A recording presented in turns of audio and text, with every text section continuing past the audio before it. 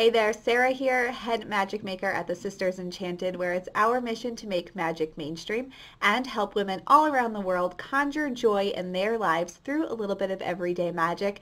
And I am talking to you about Jupiter retrograde. All right, Jupiter goes retrograde in its home sign of Sagittarius on April 11th, 2019. So Jupiter, every planet actually is ruled by a or has a home sign.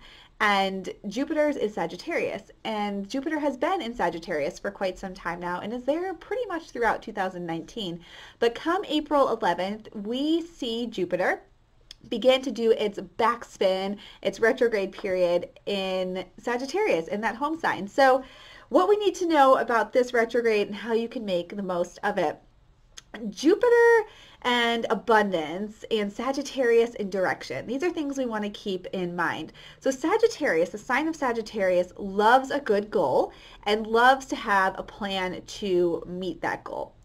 And Jupiter calls abundance to you in whatever way you think you're already abundant. Whatever your abundance is focused on, that's where you're going to get more abundance and also loves to give you abundance when you are following your soul's desires, your innermost purpose and desires.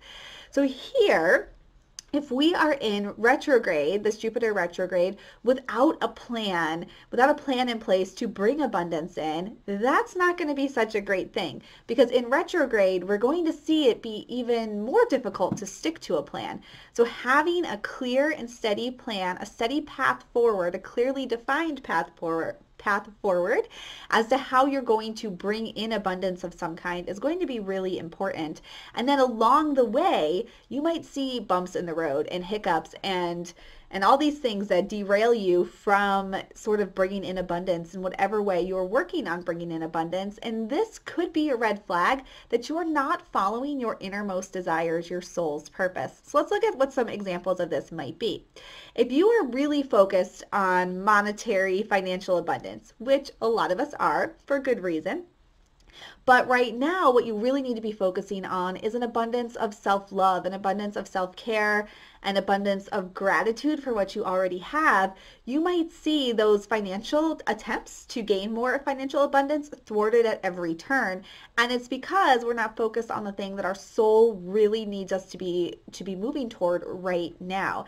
Uh, if, for example, you're focused on an abundance of weight loss, but really what you need to be focused on, your soul's desire is to have an abundance of experience. You want to experience the world, but you're like pigeonholing yourself and just spending lots of time on this weight loss issue. You might see bumps in the road related to that. And we will get more abundance in the area we think we're already abundant in. So if we think we are abundant in poor health, if we think we're abundant in bills that need to be paid, that's what we're going to get more of. So we need to think to ourselves, what is my what's my true inner desire here? What do I truly desire at a soul level? And how can I make a plan to help me bring that into being during this retrograde? And if we see things, our, our attempts being thwarted and things aren't going our way, that is a red flag to stop and reassess and think, how is what I'm doing right now helping me on my path towards my soul's purpose in abundance? What am I truly wanting to be abundant in? What do I truly desire? And this retrograde period is going to maybe in a little bit of a chaotic way, help us to see that path forward. So uh, Jupiter retrograde in Sagittarius begins April 11th. So prepare yourself and enjoy the ride because it's here to bring you lessons and you'll come out the other end with a clearer picture of what it is that you should be doing with your life and maybe what you should spend a little less time doing. Until next time, I'm Sarah of the Sisters Enchanted. Be sure to like our page, hit the follow button so you don't miss any of these updates, and I hope that you have a magical retrograde period ahead.